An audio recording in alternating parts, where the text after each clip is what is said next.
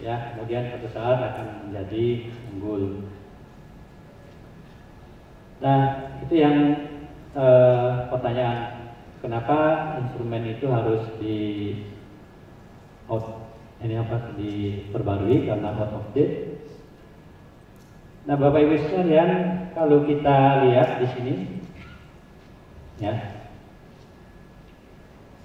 Instrumen itu untuk diploma dibuat tahun 2009, untuk sarjana tahun 2008, untuk magister yang terbaru itu tahun 2009 juga, doktor tahun 2009, yang paling baru itu 2011.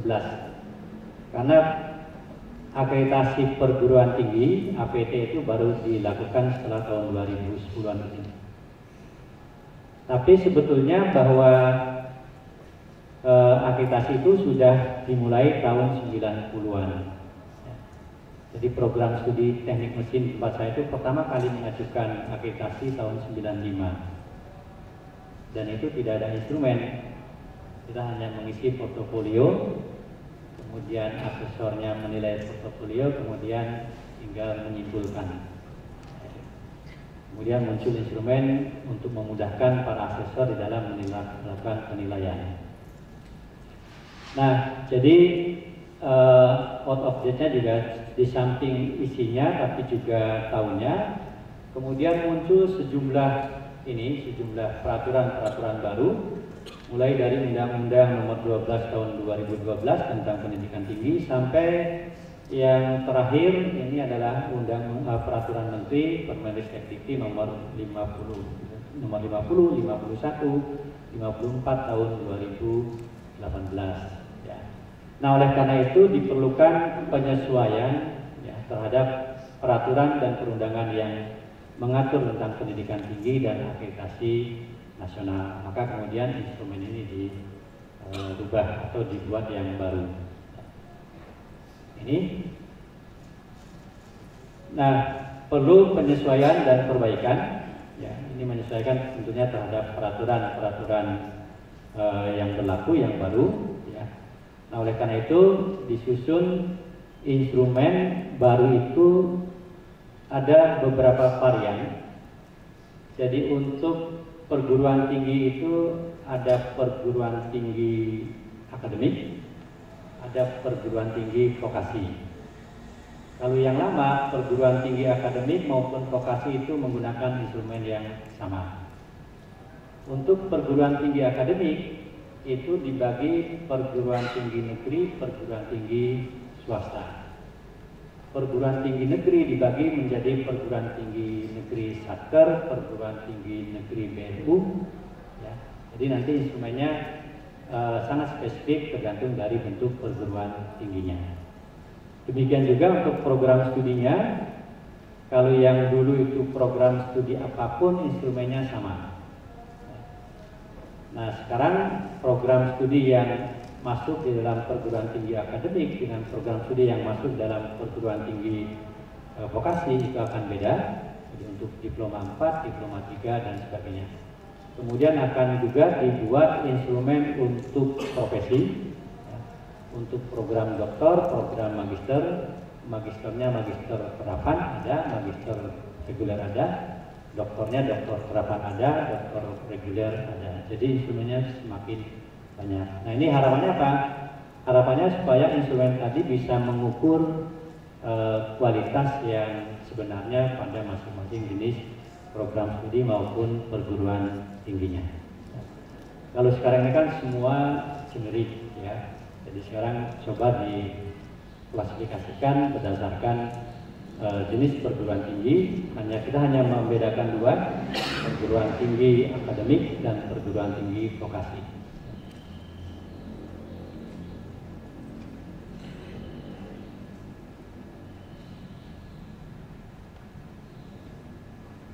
Nah, kemudian di sini ada beberapa peraturan mungkin yang paling uh, banyak digunakan di dalam uh, penyusunan instrumen baru jadi Bapak Ibu sekalian, itu ada peraturan Permendikbud Dikti nomor 32 tahun 2016 di mana pada pasal 7 ya, bahwa akreditasi program studi dan perguruan tinggi dilakukan dengan menggunakan uh, instrumen akreditasi. Kemudian instrumen akreditasi sebagaimana dimaksud pada ayat 1 terdiri dari instrumen akreditasi program studi dan instrumen akreditasi perguruan tinggi. Nah untuk program studi kemudian kita kenal nanti dengan APS ya 4.0 kemudian untuk e, perguruan tinggi APT 3.0 dan untuk perguruan tinggi ini sudah banyak yang menggunakan akan mengusulkan akreditasi untuk perguruan tinggi. Nah kemudian e, instrumen akreditasi pergur, e, program studi maupun perguruan tinggi disusun berdasarkan interaksi antar standar di dalam SNDP jadi kita punya SNDT nomor 44 tahun 2015 di mana di situ ada standar tiga standar. Pertama standar pendidikan, penelitian dan PKM. Masing-masing standar punya 8 substandar. Jadi ada 24 substandar dari tiga bidang, pendidikan, penelitian dan PKM. Kemudian masih ada sub-sub-sub yang lainnya. Nah, instrumen yang sekarang ini disusun dengan mengacu pada standar yang sudah ditetapkan oleh SNDP. Yang dulu awal-awal instrumen yang digunakan itu Ban PT tidak punya acuan dari mana pun. Karena kita sendiri tidak punya standar. Tapi mulai tahun 2015 kita punya standar uh, pendidikan tinggi SNDP dan itu yang digunakan sebagai acuan di dalam menyusun instrumen. Nah, sehingga di dalam instrumen program studi maupun perguruan tinggi tidak akan lagi menggunakan istilah standar. Karena standar itu sudah digunakan di dalam Permenristek Dikti tentang Standar Nasional Pendidikan Tinggi SNDT. Dia menggunakan standar. Kemudian dari eh, tiga standar, 24 substandar itu eh, kami tim instrumen menyusun menjadi sembilan kriteria baik itu untuk perguruan tinggi maupun untuk program studi. Jadi ke depan instrumen itu tidak mengenal lagi istilah standar satu, standar dua, standar sampai tujuh, tapi dimulai disosialisasikan menggunakan istilah kriteria. Jadi kriteria apa yang harus terpenuhi untuk memenuhi standar SNDP. Jadi standarnya sudah ada di SNDP. Nah kriteria-kriteria itulah yang kemudian kami susun supaya kriteria itu bisa memenuhi standar yang sudah ditetapkan oleh SNDP. Nah sembilan kriteria jadi itu merupakan uh, apa tuh namanya merupakan uh, kombinasi dari uh, tiga standar yang ada di SNDP. Ya. Nah kemudian uh, instrumen akreditasi program studi itu nanti disusun berdasarkan jenis pendidikan. Tadi saya sampaikan ada program vokasi dan juga ada program uh, pendidikan akademik dan ada profesi. Kemudian berdasarkan program pendidikan yaitu program diploma, program sarjana, program sarjana terapan, magister, magister terapan, doktor, doktor terapan, kemudian uh, spesialis, ya. Kemudian modus pembelajarannya yaitu modus tatap muka dan jarak jauh. Jadi ada program studi yang sekarang ini sudah menyelenggarakan kegiatan modus pembelajaran itu dengan tatap muka langsung, tapi juga bisa menggunakan modus pembelajaran jarak jauh.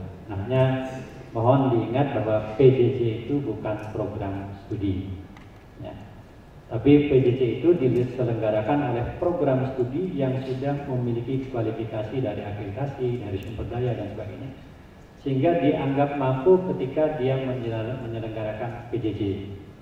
Karena untuk menyelenggarakan PJJ itu tidak semua program studi bisa memiliki kapasitasnya, baik dari sisi dosennya, dari sisi infrastrukturnya, dan sebagainya. Sehingga e, mungkin nanti ada istilah PJJ itu program studi. Ya, jadi PJJ adalah hanya modus proses pembelajaran saja. dilakukan dengan jarak jauh. Tapi itu program studinya adalah program studi yang sudah minimum kalau sekarang itu sudah terakreditasi A, kemudian sumber daya manusianya mencukupi, infrastruktur yang diperlukan untuk menjalankan PJJ itu sudah layak misalnya Nah kemudian eh, ada hal-hal khusus nanti terkait dengan eh, instrumen yang baru ini.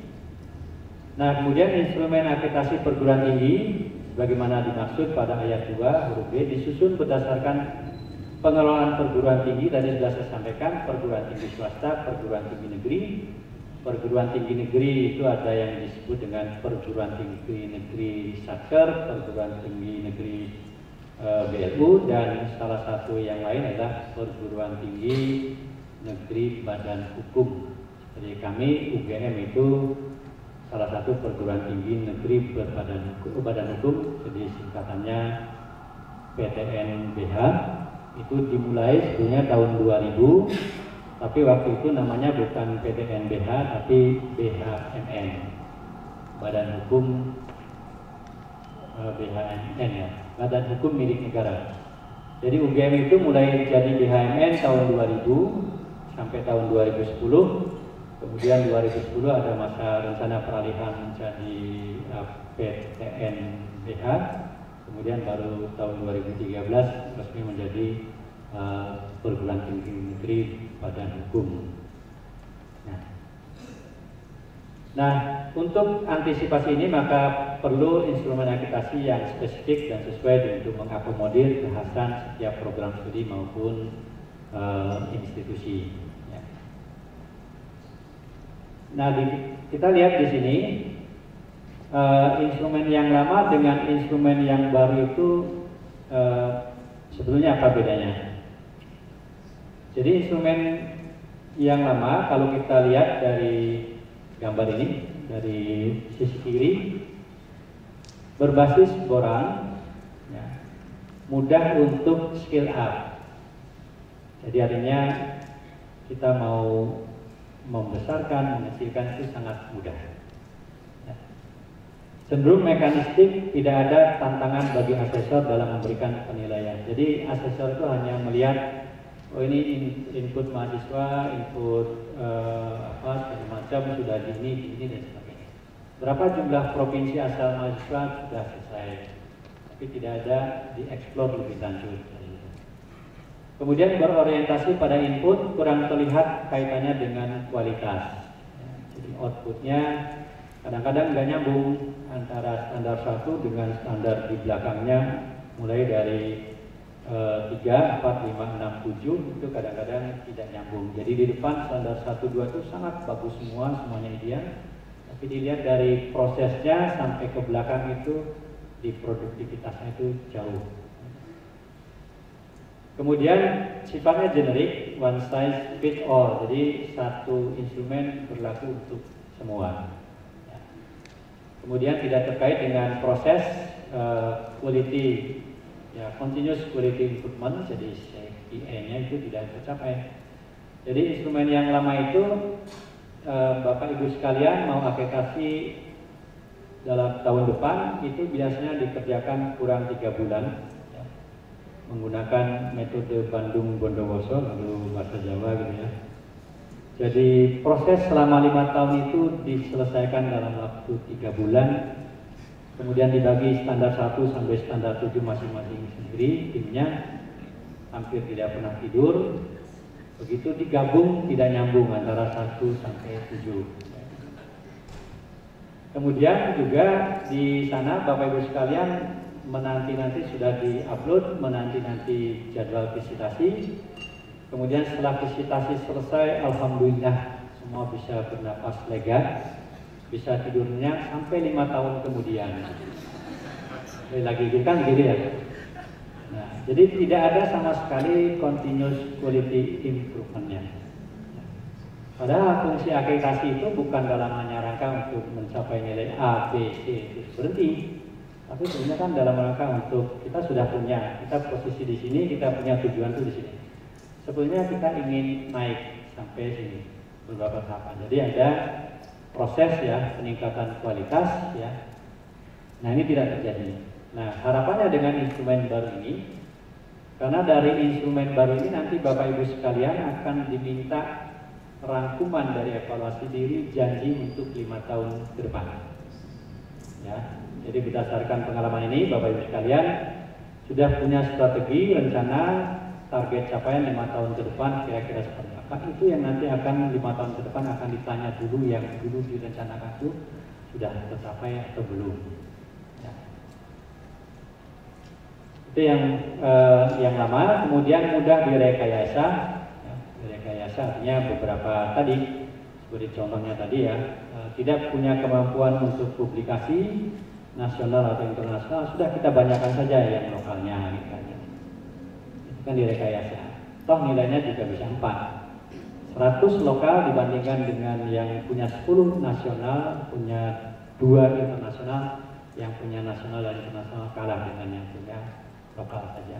Nah ke depan tidak bisa seperti itu. Nah instrumen baru e, berbasis evaluasi diri. Jadi di sini menemukanali kekuatan dan kelemahan, berorientasi pada output dan outcome, lebih spesifik untuk berbagai jenis institusi PTN, DH, PTS, PTNB, eh, PTBLU, kemudian Satker,